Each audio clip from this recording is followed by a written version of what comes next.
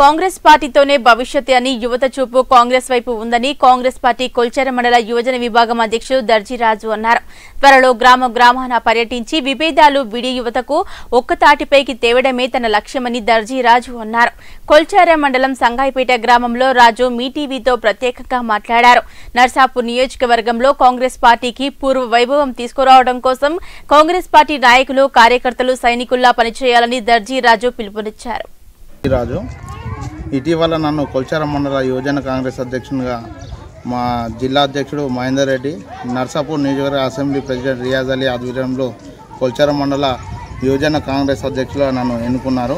అధికారికంగా ఎన్నుకున్నారు కాబట్టి నేను ఈరోజు మాట్లాడాల్సి రావాల్సి వచ్చింది.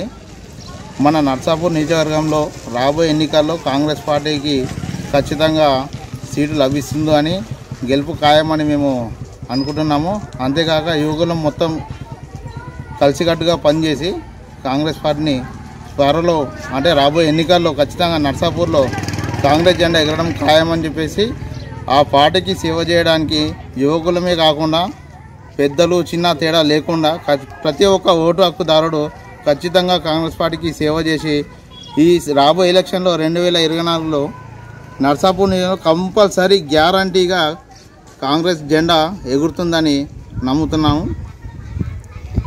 త్వరలో అంతేకాకుండా త్వరలో మేము కొల్చారం మండలంలో గ్రామ గ్రామం తిరిగేసి కమిటీలు ఏర్పాటు చేసుకొని కాంగ్రెస్ పార్టీని బలోపేతం చేస్తామని పూర్వంలో ఉన్నటువంటి కాంగ్రెస్ పార్టీ అధికారంలో ఏ విధంగా ఉండి ప్రజలకు సేవ చేసిందో అదేవిధంగా మేము రాబోయే ఎన్నికల్లో కంపల్సరీ చేస్తాము అని చెప్పేసి అందరం కోరుకుంటూ ఉన్నాము. దీనికి అందరు పెద్దలు చిన్నలు అందరూ సహకారం చేయాలని మా మనస్ఫూర్తిగా కోరుకుంటున్నాము.